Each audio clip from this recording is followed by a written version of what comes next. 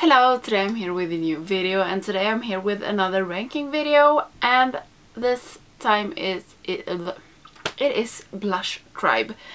I was thinking about which brands do I have a lot of palettes from and it's only like Blush Tribe and Juvia's Place and I have already done Juvia's Place and this was a little bit harder for me because I really don't know which palettes I like the most but I think I have decided. So I have six palettes from Blush Tribe. I got some limited editions. I think maybe three of them is limited edition or two. I don't really know.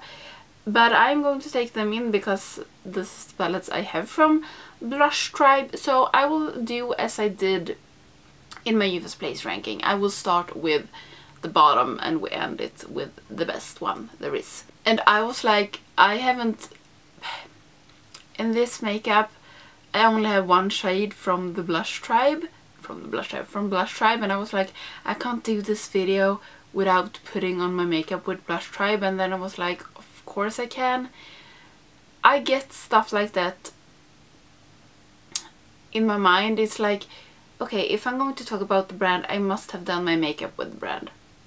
I don't know why I am like that. I am I'm just like that but I have not used blush tribe only on my eyes. I hope that it's okay with you. I don't know why it would not be, but okay.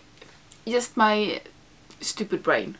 So okay, we just get started. And the palette I like the least from Blush Tribe, if you saw my latest tag video, it must have been, you know which palette this is going to be, and it is the Blossom palette. This was one of the first palettes I really, really, really wanted from Blush Tribe. It's the first one I bought. I don't know, I think I bought this one and Hasina too at the same time. This is a rainbow palette. I don't like this. I think this was one of my first rainbow palettes and then I really really liked it but now it's it's not that good. Some of the shades are super good, super good, but some of the are like, nah. So I wouldn't recommend this. I don't even know if this is still available or not. I have no idea. I think this was one of their first also. And if you missed out on this, you didn't miss that much because it's not that good. On place number five, I have the Munasa palette. And it's nothing wrong with pigmentation in this. I haven't played with all the colors. I play with some. It's nothing wrong with them it is a good yellow, it is good shimmers, but the one thing I have such a hard time with this palette is the background. It's like when I open this and look at shades, I can't concentrate on the shades. So I don't pick it up. And I also, it feels a little bit messy. I don't know if it is because of the background and the names are in black writing and it's just hard to look at. It's hard to hold up YouTube wise and it's just it's hard to see the colors names and yeah and then it's like I'm not that picky with how a palette is laid out. I I can get with my palettes it's not a problem for me but the one thing that bugging me it's the gold background and then it's like it's too blue here and this is kind of blue and this is kind of blue. I wanted that they them in the same row when the background is like this. Is if it would have been like a white background I think this messy part is more it's easier to look at but when you have this gold shiny background and the colors are all rambled up it's so hard to look at. But it is a good palette but I never use it because I like get stressed when I look at it Maybe I sound like a crazy person, I don't know.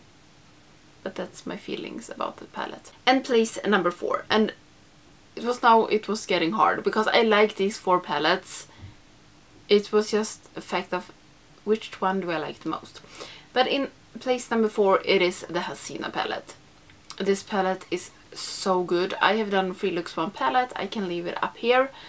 It looks like this. This is also a rainbow palette, I would call it, and this is so much better. And this contains shimmers and mattes. and this is so easy to look at. It's white background, it's divided in rows so this is the pink and purple and this is the green and blue and this is the red and orange and brownish really good layout on this palette I really love it and the colors are amazing I think that all the colors in this palette keeps keep, has the same standards I like it the only thing I'm missing in this is a matte yellow but this gold is amazing and this orange is amazing and also this red. So I really really love this palette. But it's it didn't get any higher than this but as I said it was so hard with this four that I had left. But this is a really really good palette. I actually don't know if they still have this one. I hope because this is so good. In place number three it is also a limited edition palette but I think that this will come back in autumn. They have talked about it before and it's the Fall Fusion palette. This is so big and it looks... This is like so big. It's only 12 shades but I really like this palette. I like... Okay, I don't know how to hold this. I like this row the most and this shade.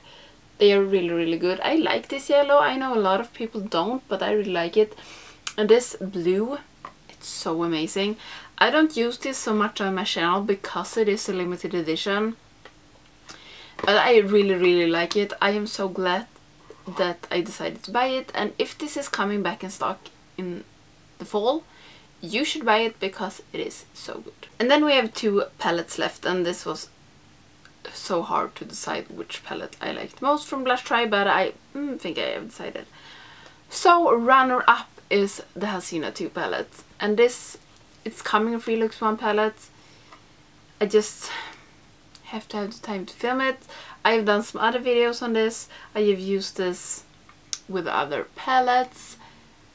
It looks like this. This is just, for me that don't like green and purple that much, or okay, I like green now, but I don't like purple that much. I still love this palette and this is like a really, really good thing to say about a palette looking like this for me. I don't know, why do I talk so strange today? I'm sorry. I don't get to the point. Instead of talking like this, I'm talking like this. Sorry. But this is such a good palette.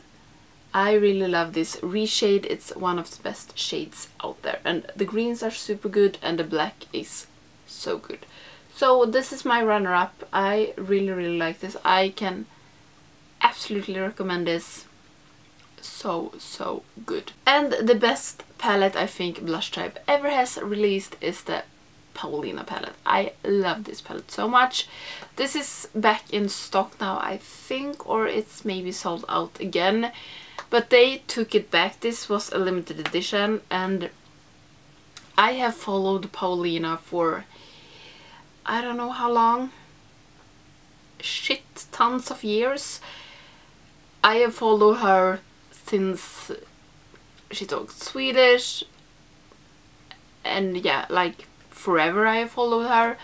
And I really love and adore her and I don't only love the palette for that because this palette is amazing so the palette looks like this I maybe should show it to you I really like all the colors in this. I love this French shade and these two other greens. They are so good. And I think Paulina and Salma did a great, great job on this palette. I think this palette is so unique. I have played with this a lot and I still want to play with it and I love that it's back in stock so you that missed it can buy it. I was like, am I going to buy one more? But I am never going to pan this palette. I know that, so I didn't buy one more. But if you missed it first time and if it's still available, buy it because it is an amazing palette. I really, really, really love this palette. I am so glad that I have it. And this is such a unique palette in my collection and that's why it's coming on the top. So yeah, that was my ranking with my Blush Tribe palettes. I think it's fun to do these videos and I hope you like to watch them. It feels like I can give you some tips on which palettes I think are good and think are bad or maybe what you want from palettes. And now I don't know if I have any more brands to do this with. Maybe I could do it with Colourpop. Do I, I have pretty many palettes from Colourpop. I got like six, seven palettes from Colourpop, so I could do a ranking with my Colourpop palettes, but then I think it's like, no more because I don't have that many palettes from other brands. But I really hope you liked this video and how do you rank your blush tribe palettes or do you only have one blush tribe palette? Which is your favorite blush tribe palettes? Or which blush tribe palettes do you like the least? Blush Tribe is now releasing so many palettes and I I am not that intrigued by Blush Tribe anymore that I was before. Maybe it is a little bit of my low buy, maybe it is because that neon palette, I really really wanted that but it was not that good and maybe I lost my interest a little bit in Blush Tribe, I don't know.